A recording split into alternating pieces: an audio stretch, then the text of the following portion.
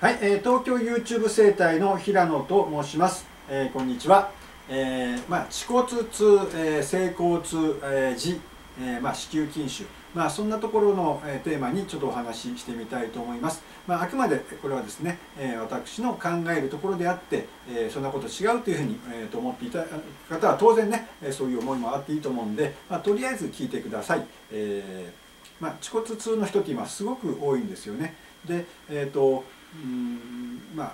逆にちょっとあの考えるとですねまあ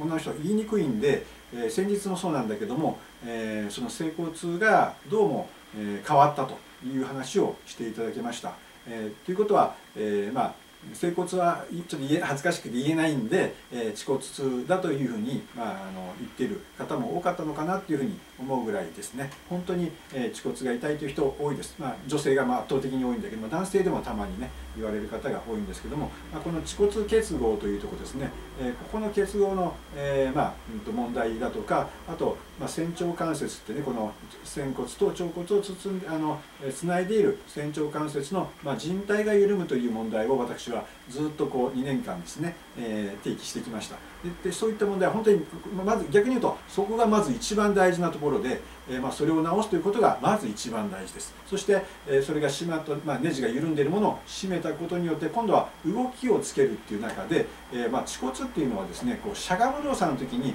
くるくるくるってこうくるくるくるくるっていうふうに動くんですけども、えそれがですね、え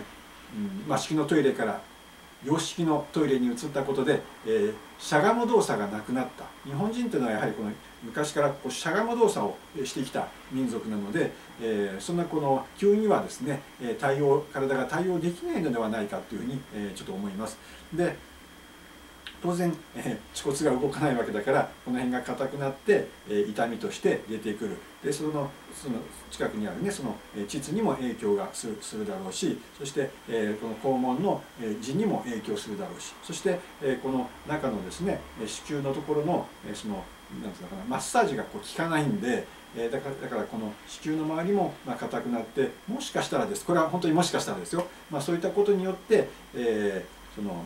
うん、老廃物がね溜まったことによって、まあ、子宮筋腫として、えー、存在する、え、そんなこともちょっと考えてはいるんですね。え、というのは、えー、その女性の方でね子宮筋腫を持っている方がこうしゃがめないのを、えー、人がいてでも本当に恥骨をくるくるくるくる回してたら本当に、えー、生まれて初めてしゃがめましたみたいな、え人がいるんですいたんですね、えその時にちょっと思ったことです。もしかしたら不妊にもつながるかもしれません。えー、そして今私はね本当に人体の問題これ23年やってきて、えー、そしてそこからもうもう一段階ですねステップアップした、えー、最近で言うとチャクラ療法っていう、えー、本当に面白い、えー、調整法をね見つけて、えー、見つけたんですけども、えー、本当にこの1ヶ月ぐらいねもう仕事したくてしたくて整体したくてしたくてそして、えー、東京早く行きたい大阪早く行きたいっていうふうに今本当にワクワクしています。えー、ただね皆さんが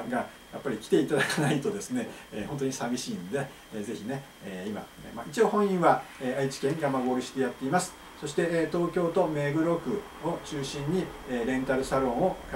借りています。まあ基本的には駅の近くです。そして大阪市北区、南森町の駅の近くで、サロンを借りてやっています、ありがとう生態蒲郡市と検索していただいて、私の、まあ本当にまた怪しげなホームページをね見ていただいて、来ていただけると嬉しいと思います、え、一応20年以上ね、えー、無事にやってこれました、え怪しいと言っても、え怪しくない、え証拠だと思います、えよろしくお願いいたします。